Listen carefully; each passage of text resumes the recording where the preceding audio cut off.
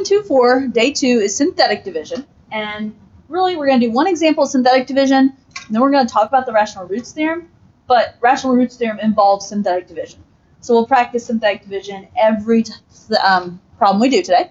So first example, use synthetic division to divide f of x, given there, by x minus 3. Write a summary statement in fraction form, which, from my understanding, what I always just, basically we're going to write the answer the same way we've been writing our other answers. Okay? So, when we set up synthetic, we're going to set up a little box here. Oh. The box has what we're dividing by. But when we do synthetic division, we drop out all of the variables. Okay? Now, what goes in the box that represents what we're dividing by? Negative or no, Positive. You got 50 50 shot here, right? Negative 3 or positive 3? I think positive. Positive. Okay, so when you are given it in the form of x plus or minus a number, you do use the opposite sign. My suggestion, I usually think of it as okay, if it's x minus 3 equals 0, then I'm going to use 3, right? That's kind of how I think about remember it. If they just, for whatever reason, and we won't really see see it today, if they just give you a value and say, okay, this is your C value or your A value or whatever, you don't change the sign. It's when they give it to you as a linear factor that you change the sign. Okay? Now, on the top row next to box, we're going to write our coefficients. Starting with the 2 in front of x cubed, you continue with your coefficients, making sure that all place values are represented. So after an x cubed term would come in x squared term, then an x term, and then a constant term. If any of those are missing, you have to put in a placeholder 0, just like in long division, right? So, 2, negative 3, negative 5, negative 12. Okay? I'm leaving row for a leaving room for a row of numbers and then drawing a line.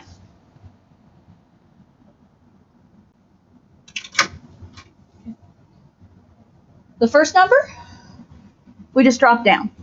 So the first number I'm dropping down is Two. 2. 2 is going to represent the first part of my answer. Okay? Then it's a multiply step. So we're going to take our divisor of 3, multiply it by this 2 down below the line, and then that answer is going to bounce up here and go above the line, if that makes sense. So 3 times 2 is 6, and that's going to go in the next empty spot there, underneath the negative 3. Then we add. So this is a spot where it is opposite of long division. Long division we subtract, right? We add here. What is negative 3 plus 6? 3. Repeat the process. Multiply again. The divisor of 3 times the value we just got of 3, which is 9, and that 9 goes up under the negative 5. Then we add. Negative 5 plus 9 is 4. Then we multiply. 3 times 4 is 12. And then we add. Negative 12 plus 12 is Zero. 0. What does that 0 represent? The remainder. Huh. In this case, I got a remainder of 0. You won't always get a remainder of 0. If we got a remainder of something other than 0, we can still write our answer just the same. Now, so my answer is represented by 2, 3, 4. But we give your answer, you don't get to leave it as 2, 3, 4 we have to put it back in terms of this problem, right? So this is going to be 2 what? X squared. Why x squared? Uh, terms x cubed, and you just go one less than the leading term. Okay, so one way to look at it, and that's the shortcut I like to use, they start us with 2x cubed, yes? Mm-hmm. So one less, we always start one less than that. One less than 2x cubed is 2x squared. The other way, the mathematical reasoning behind it is, it started with an x cubed. We divided by a x. And your synthetic division only works when you're dividing by a linear factor. So you're always dividing by x to the first. So x cubed divided by x to the first is x squared. So if that's 2x squared, what's 3? Plus 3x plus 4. Just count down from there. Okay? It's kind of funny. how those two- Coincidence. Don't expect it to always count down, right? Yeah. Okay. Um, I guess what I have in fraction, I can never remember exactly. I mean, here's my deal, guys. Can you write this answer? That's what I'm concerned about. Um, I have that their fraction form, what you may see in the answer key is them writing the problem as 2x cubed minus 3x squared minus 5x minus 12 over x minus 3. It's like saying that that fraction is equal to our 2x squared plus 3x plus 4. You might see them do something like that. Okay? Yes? Where would you rank them? Okay, so the remainder, you read my mind here. So if this remainder was anything other than 0, so say my remainder, let's continue the pattern, was 5. Then, just like long division, we'd say plus, and it would be 5 divided by Okay. your divisor of x minus 3. So remainders get written just like long division, and that it's the 5 divided by x minus 3. Okay?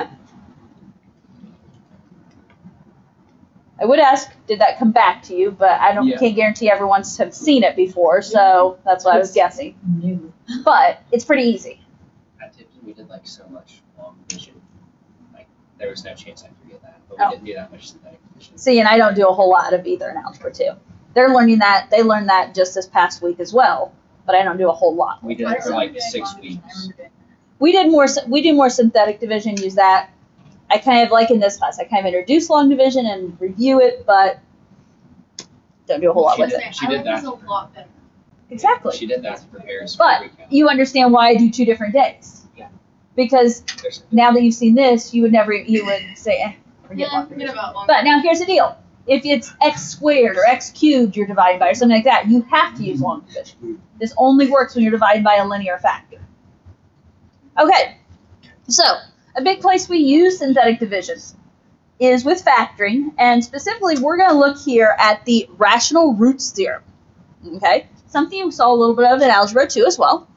Suppose f is a polynomial degree function of degree 1 or larger. Then x equals p over q. Okay, where p is an integer factor of the constant coefficient. Okay, so p is an integer factor of the constant, right there, constant is the big deal. And q is an integer factor of the leading coefficient. So what that's saying is when we set this up and we're trying to find our possible rational roots, PRRs is what I call them, okay? We're trying to find our possible rational roots. We're going to do factors of the constant divided by factors of the lead coefficient. And this will help us find potential rational zeros or possible rational zeros. Okay? So, example two. Ask us to find the rational zeros. Okay? Rational zeros, if you remember rational, anything that can be expressed as a Fraction. Fraction. Okay, so anything can be expressed as a fraction. We're not talking irrational, so I'm not wanting to know the square roots we can't do. And we're not talking complex, so we're not wanting to know about the imaginaries. I think that pops up in next lesson, if I'm not mistaken. Yep. We get to the imaginaries in the next lesson. Okay, so to find the rational zeros, we're first going to start by finding our PRRs. PRRs being potential rational roots.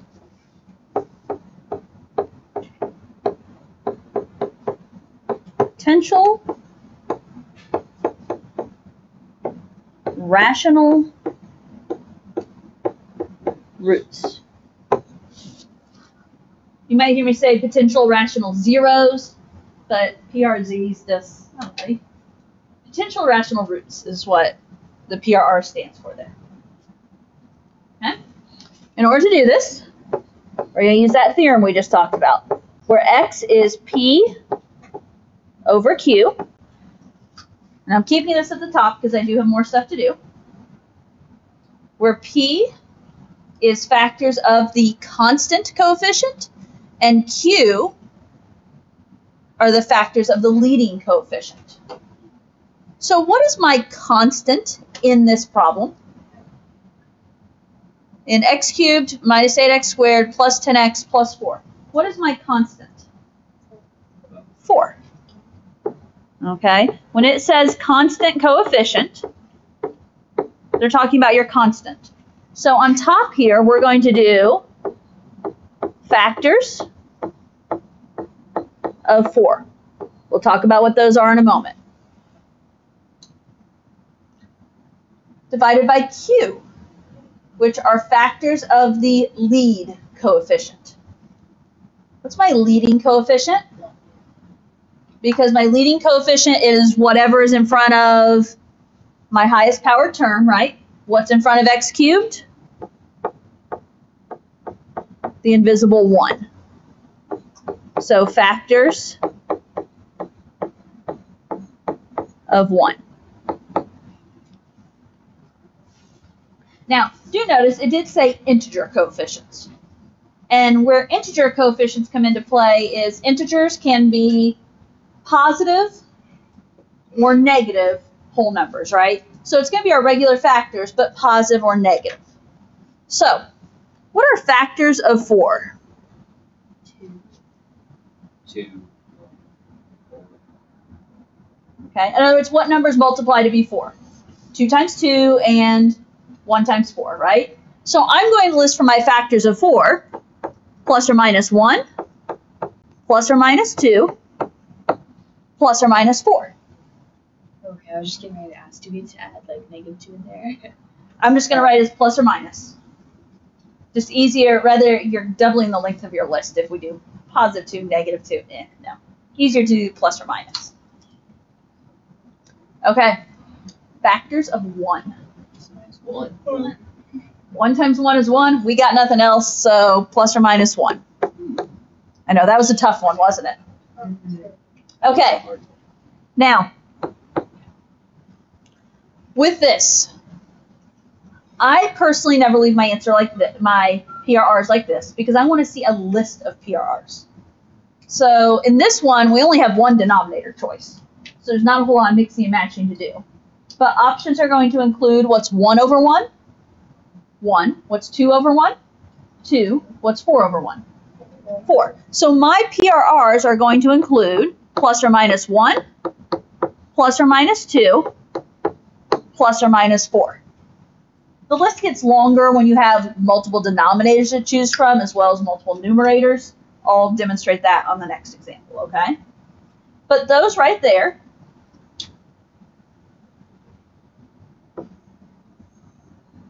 are my PRRs, my potential rational roots.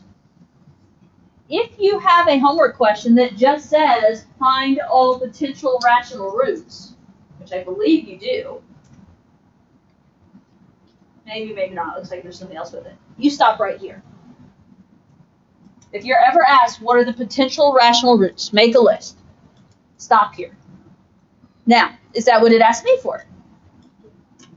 Oh wait, it says rational zeros. It wants all of our rational zeros. Now, keep in mind, I just used the word zeros and roots. Those are the same idea, yes? Zeros, roots, same idea. So, we have to decide what works here. Does 1 work? Does negative 1 work? Does 2 work? Does negative 2 work? Does 4 work? Does negative 4 work? And this is kind of a short list, if, to be honest. Okay? Can you graph this to like check what Well, and that's what we're going to use as our starting point. Okay? In that, we are going to graph these to give us a start as to, okay, where should I start checking? Okay? I could teach that, okay, we're going to try one. We're going to test it, we're going to check and see if it is a factor. Which, how do we know if something's a factor? If it has a remainder of zero, right? So we could use that remainder theorem. We could do that, but we're checking six numbers at that point, aren't we? That's a lot. Okay, that is a lot. And if it works out to be one of the first couple, piece of cake. If it's the last one we check, not so much. So graph this equation. Okay.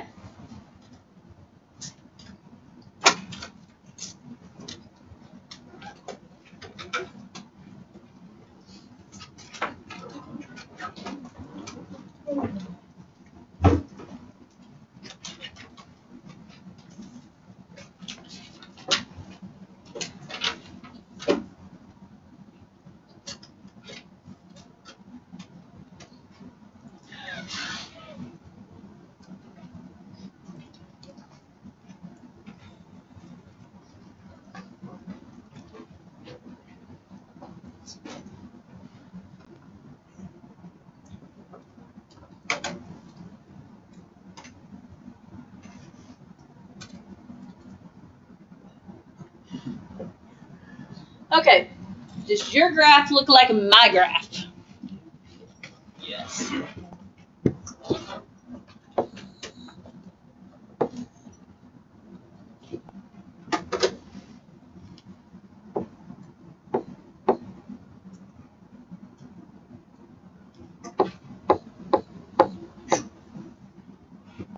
Now, as you look at our graphs, and I'm going to sketch the graph here in a moment just so I have it in my work, okay? It's not that you're required to sketch this graph. It's just when you go back and look at these notes later, it's going to make more sense if you can look at the graph beside it. Any thoughts? Do we see a rational root that we should use as our first guess to check? Me personally, I do. Maybe a 2? Okay. I go, yeah. Looks like probably a 2. Now, looks like there's something between 0 and negative 1, yes? Yes. Do we have any of those, any numbers between 0 and negative 1 in our list? Unfortunately. No. And I think I count that one as between 6 and 7. Three. Do we have anything between 6 and 7 in our list?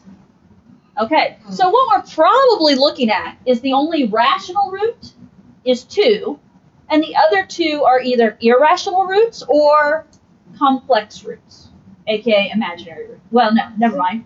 That was a wow. They're not imaginary because They're on the graph. they're on the graph. We can see them. So they're irrational. Imaginary Wow, that was whew, that was bad, guys. Okay, so I'm just gonna sketch the graph here. Can you graph the square root of negative one? Does that work? No, not on a regular graph at least. Okay. So what I'm going to say is based on the graph, we're going to try x equals 2. And we're pretty sure it's going to work, aren't we? I hope so. And as you're looking at this problem, you may be thinking, why didn't we just graph it and skip all this other stuff? This other stuff leads us to our irrational answers, which we don't need our irrational answers here, but we will on future problems. Yes. Okay, so there's a reason I'm teaching this process. Hang with me on it. Now, how can we check two? Plug it in. Okay, one option is to plug it in. And that's the option I taught on Friday because we had not talked about synthetic division. I personally would prefer, well, actually, it's more than the fact that I prefer synthetic division. If I just want to know the remainder, I'm, I prefer synthetic division. But here's the idea if we have to factor this and look for more roots, we need to use synthetic division to help us factor it. Okay? So we're going to take 2 is our guess. That is just a number 2. So 2 just goes in the box. And we're going to synthetic divide. So 1, negative 8, 10, and 4, correct? the numbers from the original problem. Do you remember how synthetic divide? Drop the 1. Multiply. 2 times 1 is 2. Then we add. Negative 8 plus 2 is negative 6. Then we multiply. 2 times negative 6, negative 12. Then we add. 10 plus negative 12 is negative 2. Then we multiply. 2 times negative 2 is negative 4. And then we add and we get 0. I just see zeros. Okay, guys. Here's what we know right now. This is our remainder of 0, yes? Yes. Since we got a remainder of 0, what's that tell us about 2? 2 works. We have just verified, I know the graph pretty much already verified it, but we have verified officially that 2 is a factor. Okay, or represents a factor. Now,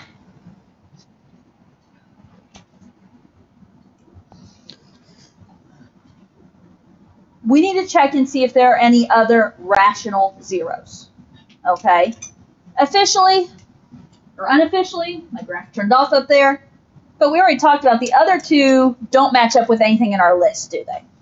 So that probably means the other two aren't going to work. But here's how we check, or here's how we would figure out. Okay, so we are at a point where this function f of x it factors. What is the factor I just divided by?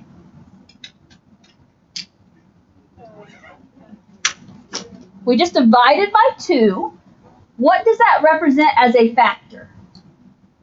Uh, x minus.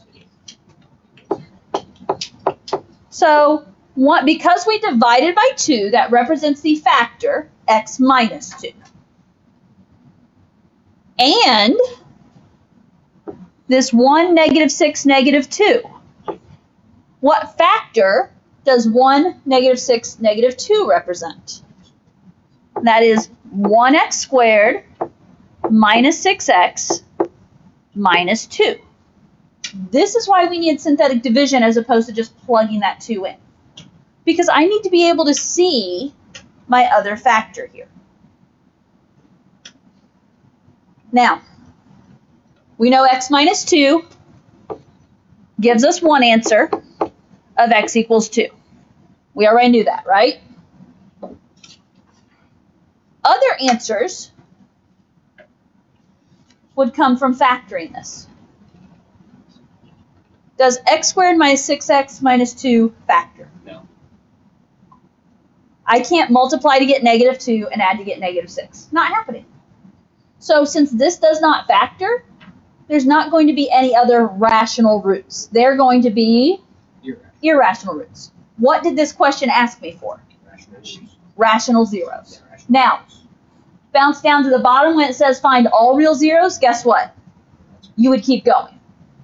But on this piece, I'm going to say does not factor. And since it does not factor, this is going to be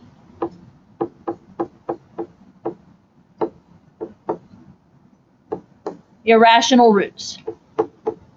And this particular problem did not ask me for irrational roots. Fast forward to another problem and it will. Now, if we needed to find our irrational roots on this one, how would we solve for x in x squared minus 6x minus 2? I should officially say equal to 0. How do we solve that since it doesn't factor? What's our backup plan when something can't factor? Quadratic formula? I remember this. Okay. So this right here would be quadratic formula to find those irrational roots. Which that makes sense because quadratic formula has a square root in it, right? So this would be quadratic formula if we needed our irrational roots here. You can just be thankful we don't on this one, right? I am. Okay. The quadratic formula is not bad. It's just like it feels. so Everyone always groans at it for whatever There's reason. just a lot going on. It's just yeah, it's there's so much going on. Okay. Ready for next example? Okay. What's example five asked me to find? Oh, or no, rational zeros. Nope, we're still at rational zeros. So you get still get to enjoy it for a moment. So, the process I want you doing, I do not want you just hopping on the calculator and graphing. Okay, we need to learn this process. So, where do we start? Factors of negative two over factors Okay. of three. We need to find our PRR, PRRs, potential rational roots. So, in order to find our PRRs, if you will, okay, per- officially it's listed as x equals p over q. P is factors of what? Negative two. So factors of negative 2 because it's factors of the constant. Over fa- over q, which q is factors of 3 because it's the lead coefficient. So negative 2 over 3. No, I don't want. What are factors of negative 2? Negative Plus minus. Okay. And since we're doing integer factors, basically what I need you guys to come up with is factors of 2 are 1 and 2, right? Yeah. We're going to write this as plus or minus 1 and plus or minus 2. Okay? Because that gets your negatives in there. What are factors of 3? Plus minus one and three. Plus or minus 1, plus or minus 3. Now, this does not qualify as a list of PRRs yet. Okay? I want to know what my individual possibilities are. So take turns pairing them up. So, I always take turns, I'll take everything in the numerator, put over the first denominator. Then everything in the numerator, put over the next denominator. I just kind of work my way through until I've finished with all the denominators. So 1 over 1 plus or minus 1. 2 over 1 plus or minus 2.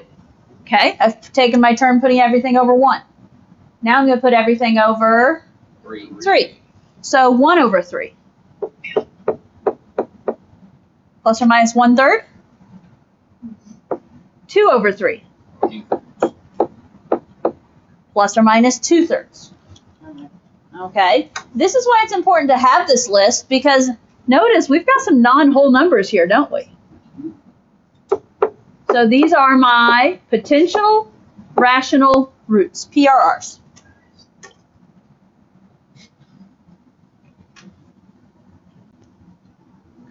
Now,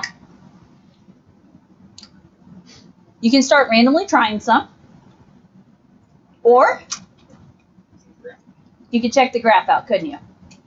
Gave her nice. That's what I was. I'm all for checking the graph out.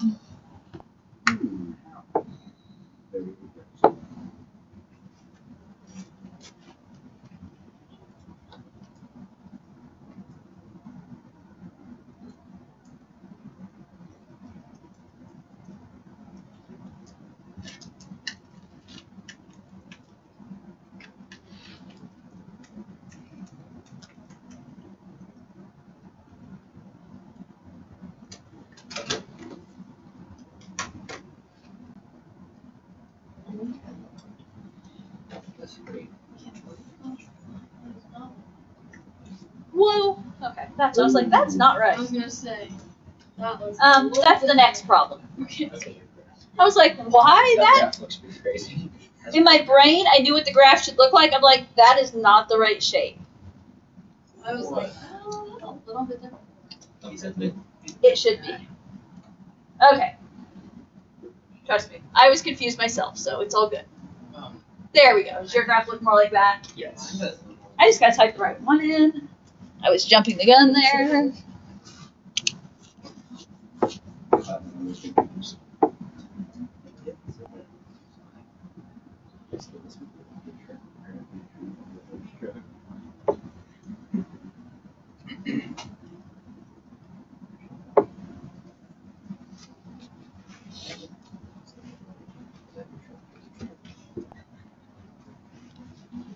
Um, it was zoomed in. Always do a zoom six, right? That's what I did. That's why I always preach, always start with standard zoom, especially like today. You're starting fresh. Who knows what you last graphed, right? You didn't just graph something two seconds ago. So, Mine's wide. Unless you did your homework. well, unless you're doing your sec- homework two seconds ago, but yeah. Okay, guys. have to go through. What are your thoughts? What are your guesses here? Uh, Negative two, negative one third. Does this look like a negative two, possibly? I'd say so. Yeah. Looks like a negative two. What's the other one that we're pretty sure of? Negative one third. Well, one. I would say one. I'd say that's about. Okay. Because here's the deal. When we go through and test these here in a moment, I'm going to start with the ones I'm more sure of, as opposed to, you know, negative two. Yeah, I'm pretty confident that goes through negative two. One, I'm pretty confident it goes through one. And those are on my list of PRRs, right? Now, what about this guy between zero and negative one? Do we have some numbers between zero and one that that could be? Yes, we do. Yeah, that could be negative one third or negative two thirds. What would you guess it is based on looking at the graph? One third. Looks like a negative one third. Now, and here's what I will tell you something you'll learn. I can guarantee you it's going to be rational because irrationals occur in pairs. Is there anything else to pair that up with? No. My other two appear to be rational, so that one has to be rational because there's not a mate for it left to pair up. Okay? Ras- or excuse me, irrational roots and complex roots always occur in pairs because of the plus or minus thing. So, okay.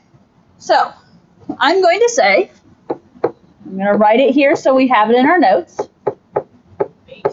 Based. On the graph,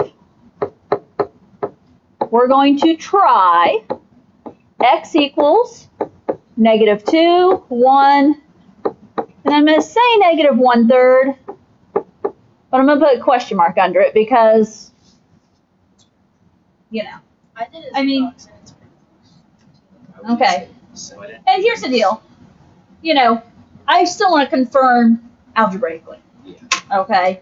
So, the whole graph is just to get an idea, a quick view of the, a quick glimpse to see, okay, what are my options here? And as long as you know one of them, honestly, the other two we, we would be able to factor out. So, okay. I would pick one you're confident with. So I'm either negative two or one. And we're going to try it. So if I put negative two in the box, what goes beside it?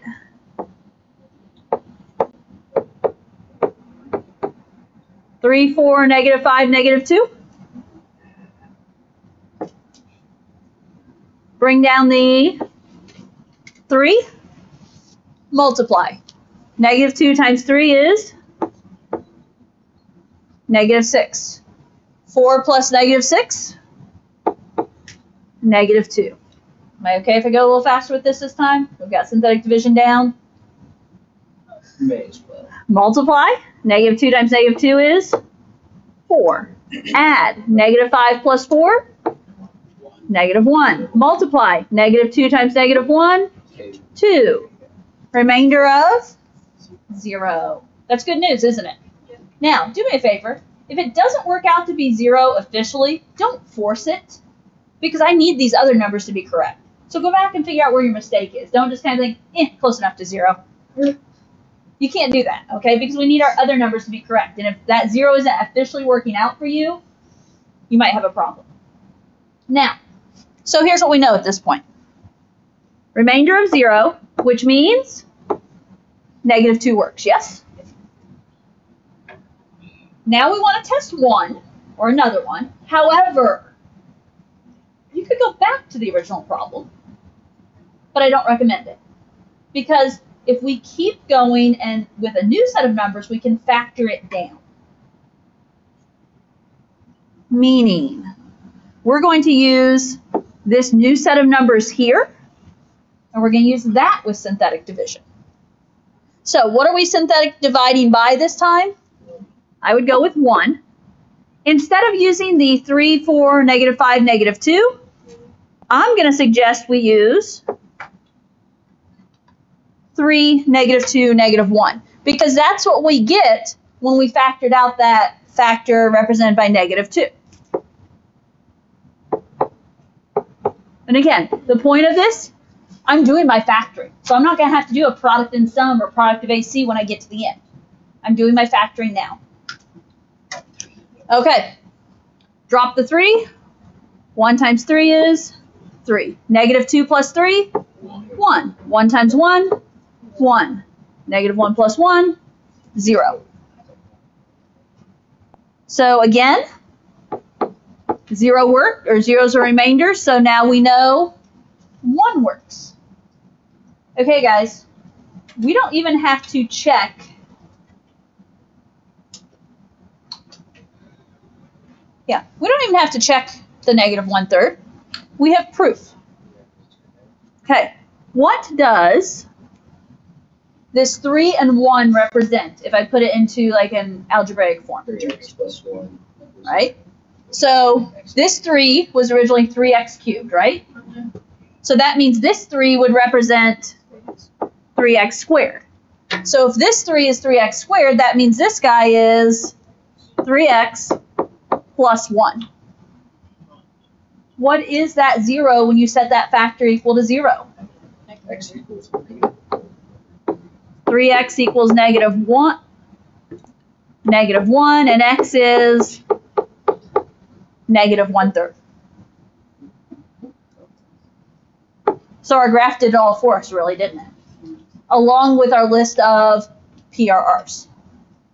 Okay, so this question said find the rational zeros. What are my rational zeros? Negative 2, 1, and negative 1 third. Could you write those as factors if you had to? Yeah, here was the 3x plus 1, yes? This negative 2 is x plus 2. This 1 is x minus 1. And then we'd have the 3x plus 1, right? So those would be my three factors if we were to write this out in factored form. We would have the x plus 2, x minus 1, and 3x plus 1. That's our factored form. So that's how we can use synthetic division to factor. Okay, what the heck? I want to get through this problem. How am I going to do that? Woo. Okay, what's the difference on this last problem? You gotta find all the difference. All real zeros. The only difference going to be at the end is we actually find any irrational zeros. Oh man. Okay?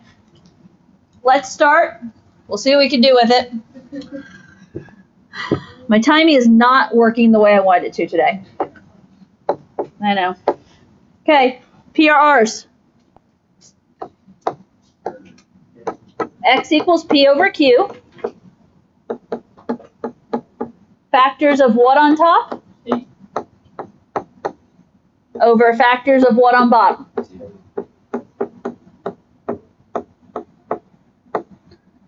Everyone's okay with factors of 8 over 2? Constant over lead. What are my factors of 8?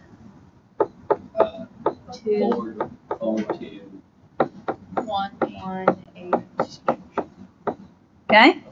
Multiply, my brain says multiplying to be 8. 1 times 8 or 2 times 4. So plus or minus 1, 2, 4, and 8. What are factors of 2? Plus or minus 1, plus or minus 2. Okay. Still going to practice, listing all my PRRs out. First all, I'm going to put everything over 1. 1 over 1, 2 over 1, 4 over 1, and 8 over 1 is plus or minus 1, 2, 4, and 8. Now, we're going to take turn and put everything over Two. 1 over 2 is 1 half, plus or minus 1 half. What's 2 over 2? 1. Oh, That's already there. And I've already got that. I'm on the other one. What's four over two?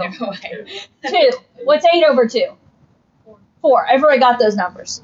So my PRRs are this list right here. If you by chance did them in a different order, you have all these pieces, right? If your brain works differently on how you pair them up, not going to argue, you have all the pieces. Okay, Now. well, advantage, I accidentally did the graph earlier. That's good. I wasn't trying to. Serendipity. Mm-hmm. What did you say? Serendipity. Accidentally did something good. No such a. It's a word, okay? Sorry for knowing words. Okay. Mm-hmm. Any thoughts?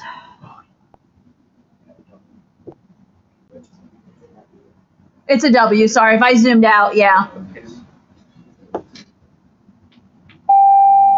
No. Okay. Here's what I'm going to say because I don't. Okay. Do the homework for tomorrow. Okay. The part that I didn't get is at the end. I talked about like you might have to quadratic formula to find your irrationals. You you know something like that. Okay. Um, or you might just have to solve something. But solve anything you get. Find those irrationals. Attempt the homework. We'll deal with everything tomorrow. Okay. Phonics and English So I have a quiz planned on Thursday, so I don't really want to add a day in here. I kind of want to keep it set where it is.